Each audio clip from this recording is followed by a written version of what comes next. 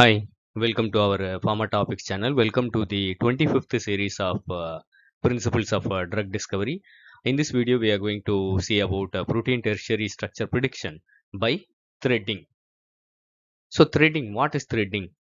So, uh, as we have seen in the homology modeling, we have a sequence. Uh, we have to uh, build a protein based on this. So, how to build it? So, basically, the uh, building model building methods like x-ray nmr cryo-electron microscopy are costly and time consuming so what is the solution?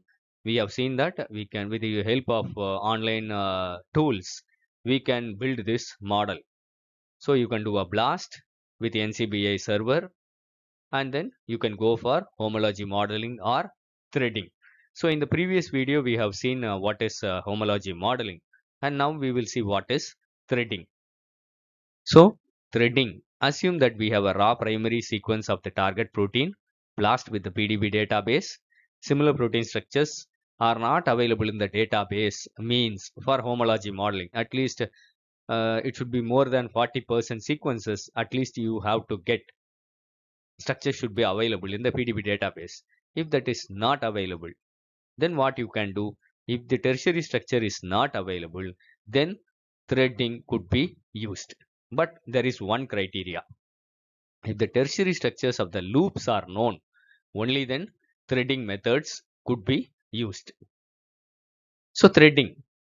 Uh, so you have a sequence, you do a basic uh, local alignment search tool, you do a protein blast, search for similar uh, structures. If it is available, you go for homology modeling. If similar structures are not available, and if you have uh, the structures of the loops available in the database, then you can go for threading.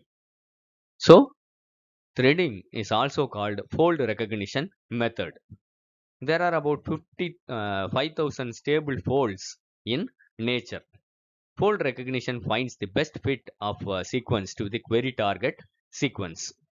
It is used when homology uh, modeling search yields less than 40% identical sequences. The sequence of the events in threading include hydrophobic collapse, local interactions uh, that stabilize the secondary structure and form motifs. Motifs aggregate to form ter tertiary structures. So in uh, threading, you have a sequence, you have uh, a target sequence, you do a sequence alignment, then you do 3D fold recognition, then you do loop modeling, then sidechain modeling, then model refinement using quality scores, and you can validate the model. So sequence alignment is similar to homology modeling. Then you can uh, do the loop modeling. Based on that, uh, you can build the uh, with the help of threading. You can model this structure, then validate this with Ramachandran plot and other methods. So algorithms used in threading. there are two algorithms. One is pairwise energy based method a structural fold database is searched to find the best match based on the energy criteria, uses uh, dynamic programming on uh, heuristic approaches, calculates energy for a raw model, lowest energy fold is selected as the most compatible uh, fold. Then the another concept is profile based method fold recognition. A profile is constructed for the related protein structures generates uh, superimposed structures based on the corresponding residues. The protein fold uh, to be predicted does not exist in the fold library, then threading will fail. This type of modeling is done when the folds of the proteins uh, match with the folds of the proteins whose structures are known, but the structures of the proteins are not homologous. Folding is a physical process in which a random coil folds into its characteristics characteristic and functional structure of a from a poly uh, from a polypeptide. Fold libraries are sequenced and with the threading algorithm that is stitching algorithm the protein is modeled. Protein modeling is a process of predicting the three-dimensional structure of a protein based on its amino acid sequence.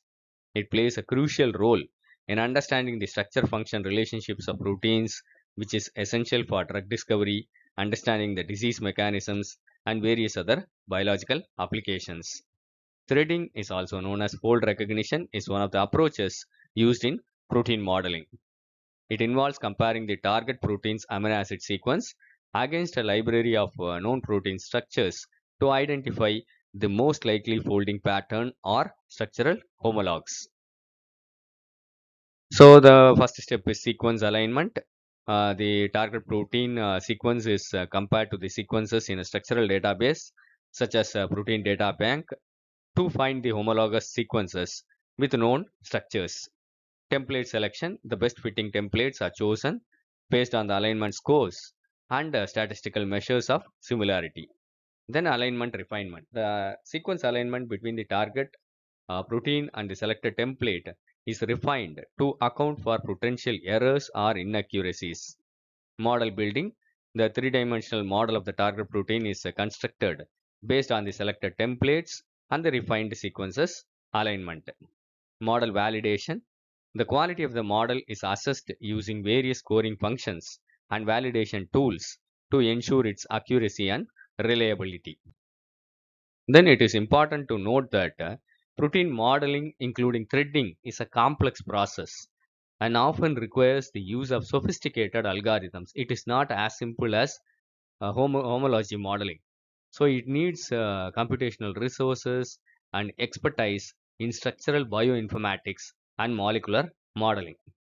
Several software tools and algorithms exist to perform threading and other protein modeling techniques. So online tools for threading are uh, one is uh, the famous uh, MODELLER uh, which can be used for threading as well as uh, homology modeling.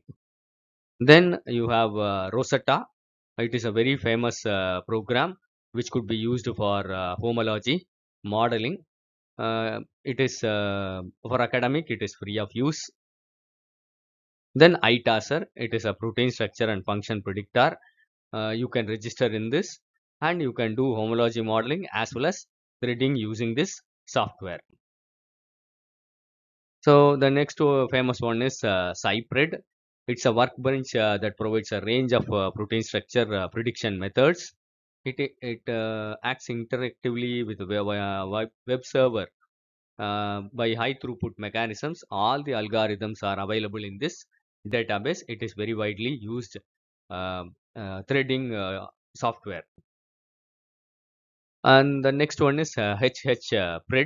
This is also a online tool where you can do uh, search of proteins, alignment, uh, sequence analysis.